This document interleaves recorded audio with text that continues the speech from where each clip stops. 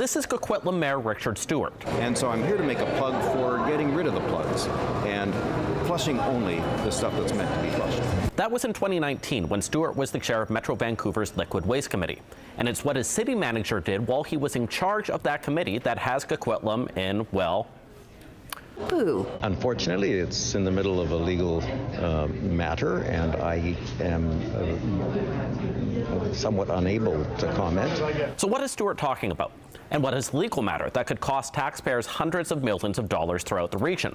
It all has to do with the wastewater plant, which deals with the things dancing behind Stewart. Metro Vancouver hired Acciona to build one in North Vancouver.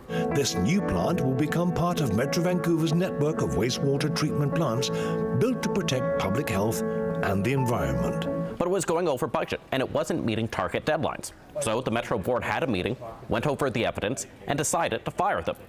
Richard Stewart had that evidence via a secure username and password. He gave the city manager, Peter Steblin, that username and password. Yeah. Now, it's not uncommon for mayors to share confidential information about regional issues with their top staffer. Except Steblin's daughter worked for Acciona.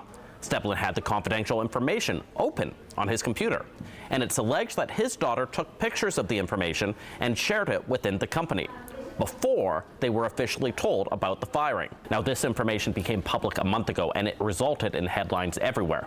But the response from Coquitlam? I'm frustrated as well um, because I would love to be able to describe this more fully because it's not as it's being uh, portrayed. According to court filings, Steblin told Coquitlam the leak happened when he left the room. And a month before the lawsuit became public, he decided to retire. But that's really all we know at this point.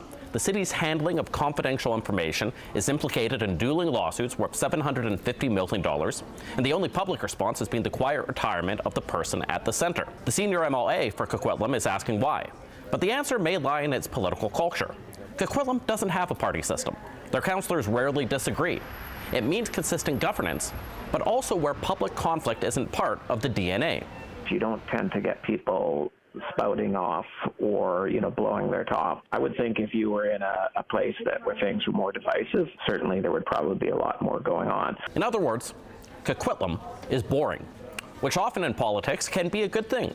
But if a city needs greater scrutiny, sometimes the place can be too boring for its own good.